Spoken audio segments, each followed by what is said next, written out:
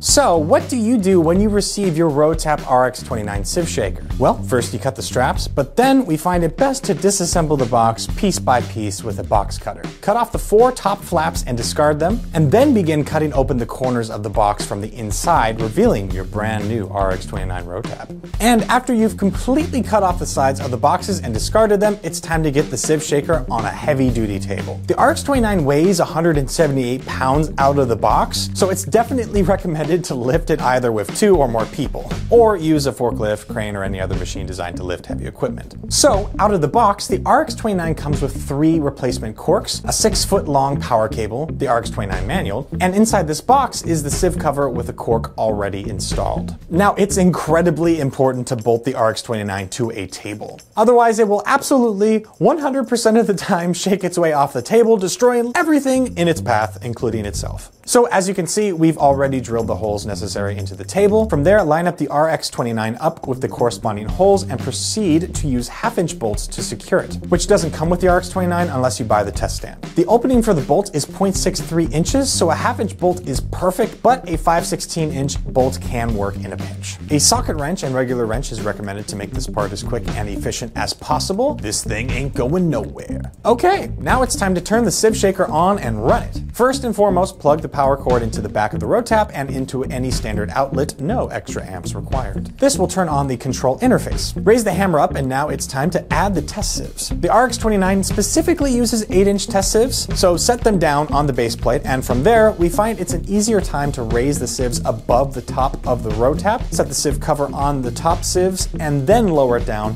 until it's flush with the top of the upper carrying plate. And make sure the sieve cover is always flush with the upper carrying plate. This will ensure that the hammer tapping motion hits the cork at the perfect velocity. And since we're not using a full stack of sieves, we have to tighten the handles to keep the base plate from falling. Since the base plate is in the way of the handles, the handles need to act sort of like a socket wrench. You can pull on the handle to move it outwards, so when you turn left, it doesn't loosen the handle more. Then you can release the handle for when you turn righty-tighty until the handle becomes snug. Once the two handles have been securely tightened, all that's left to do is lower the hammer and set your runtime.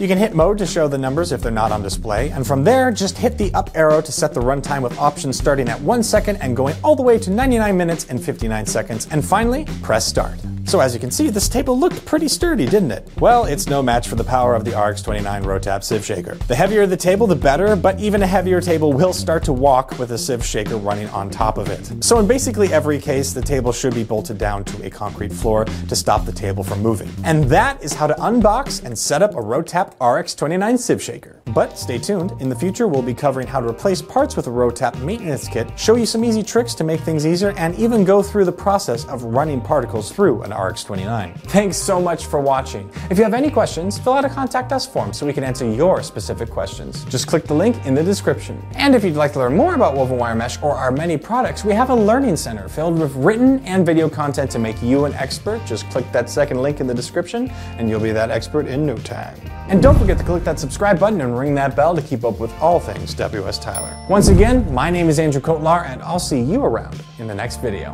Bye for now.